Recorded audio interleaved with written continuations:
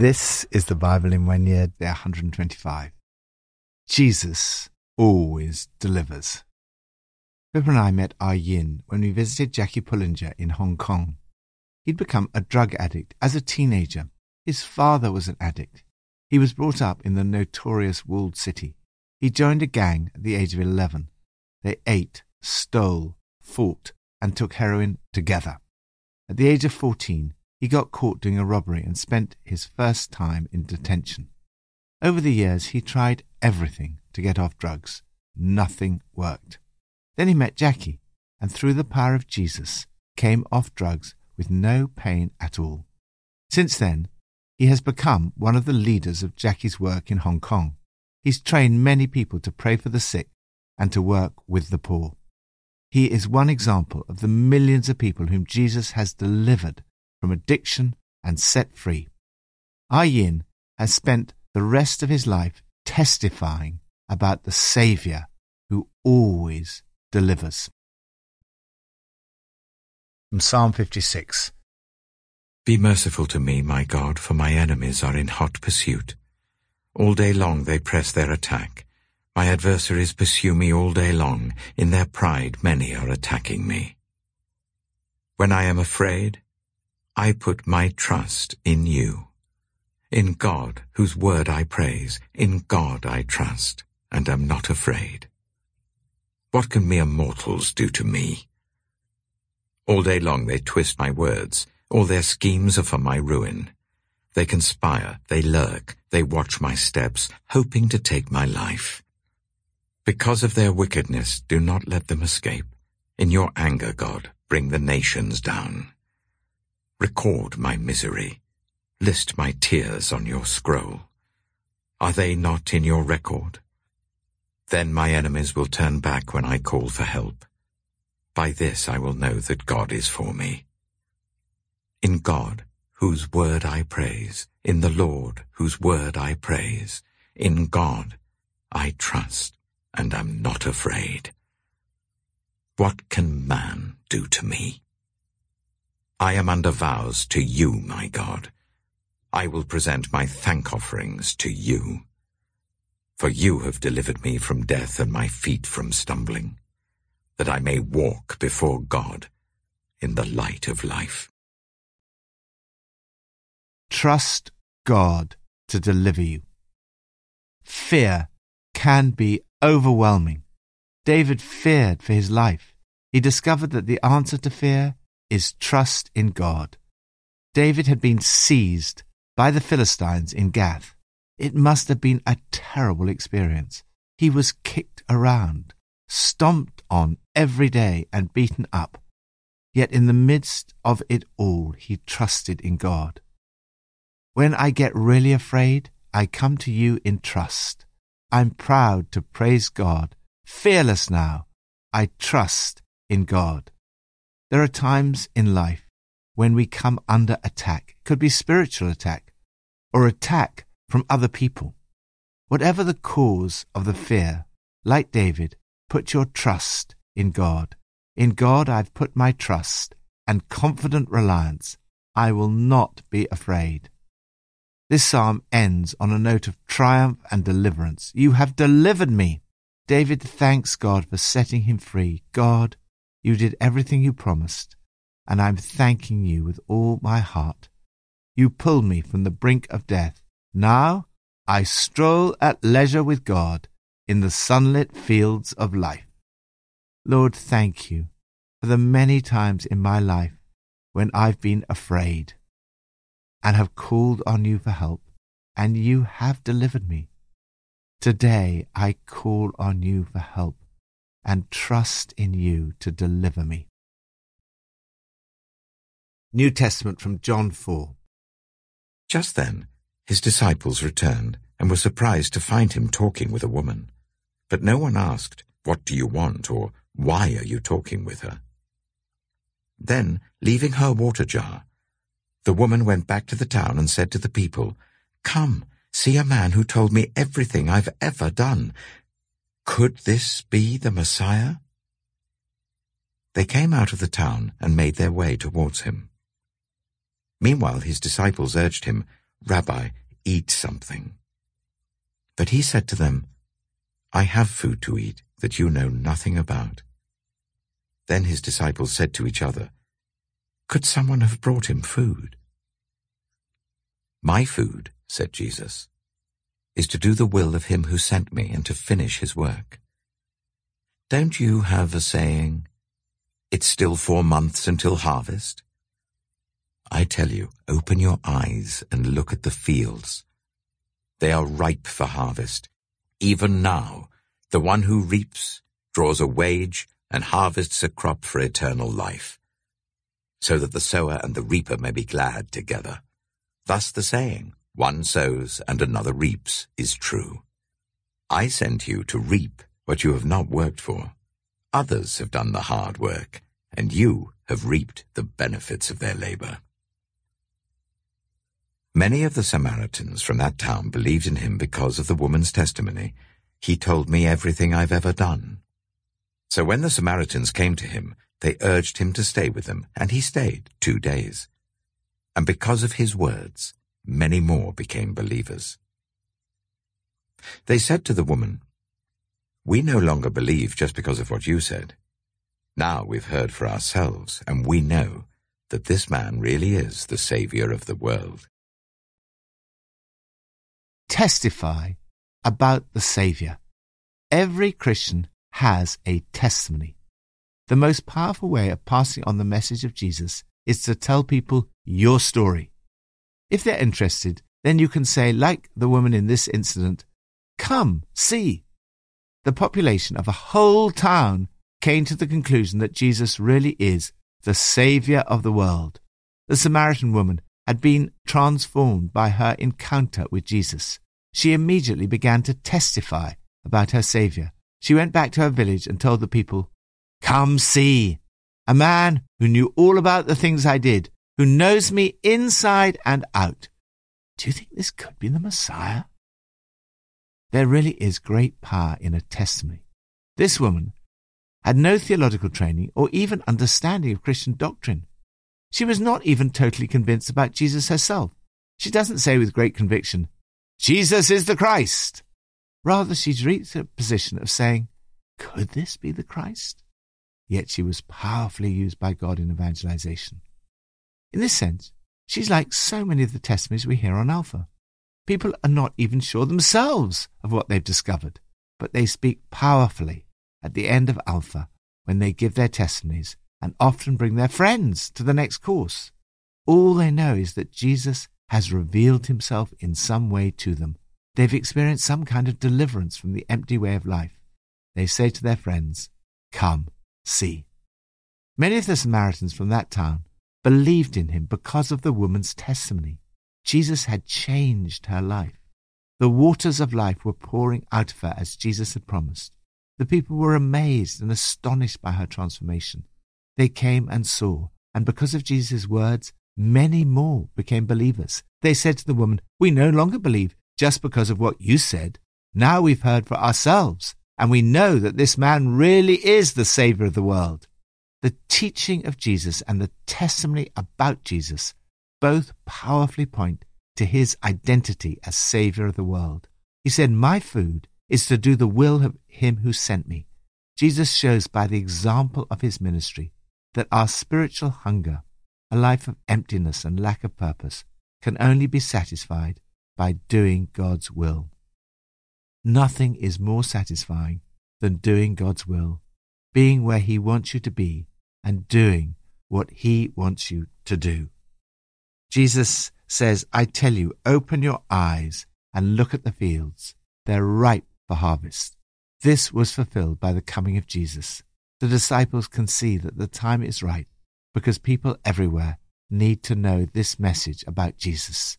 Jesus said, I sent you to reap for what others have not worked for. Others have done the hard work, and you have reaped the benefits of their labor.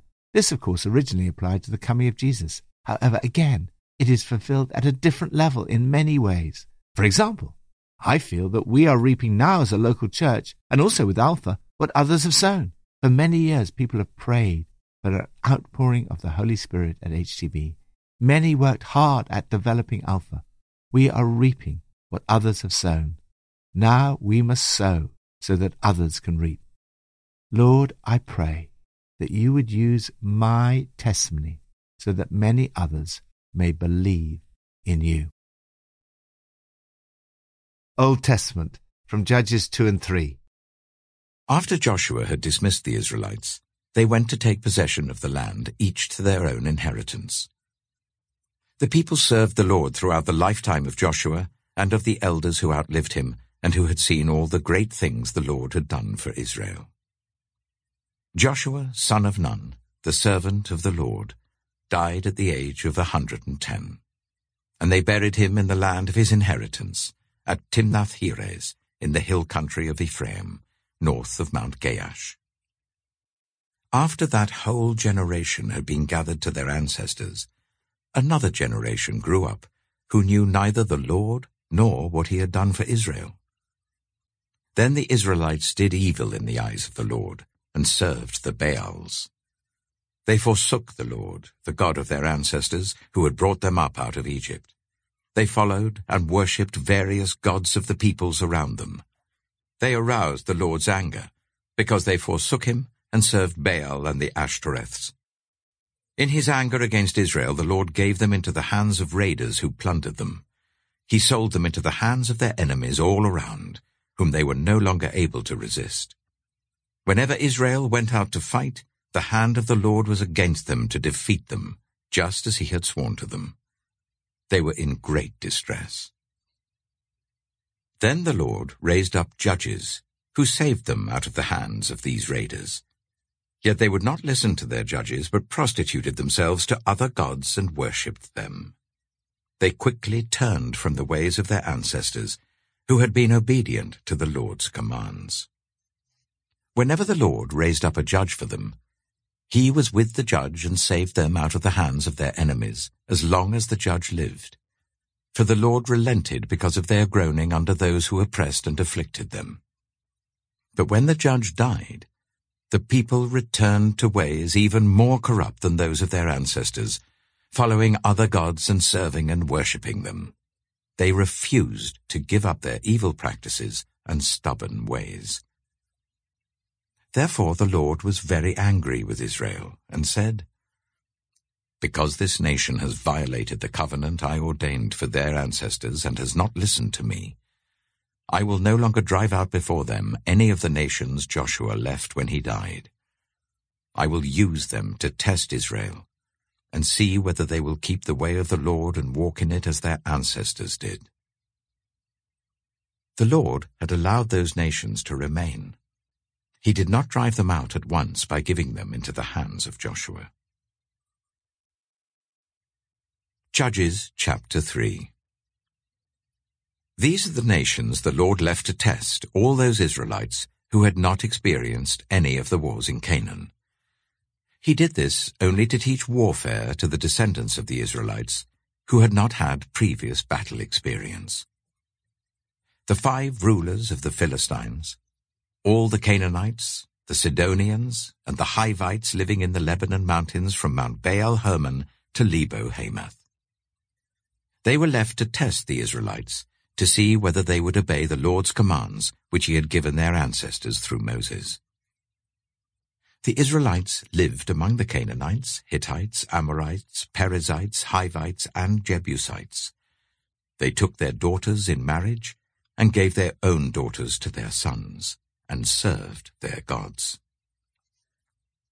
The Israelites did evil in the eyes of the Lord. They forgot the Lord their God and served the Baals and the Asherahs. The anger of the Lord burned against Israel, so that he sold them into the hands of Cushan Rishathaim, king of Aram Naharaim, to whom the Israelites were subject for eight years.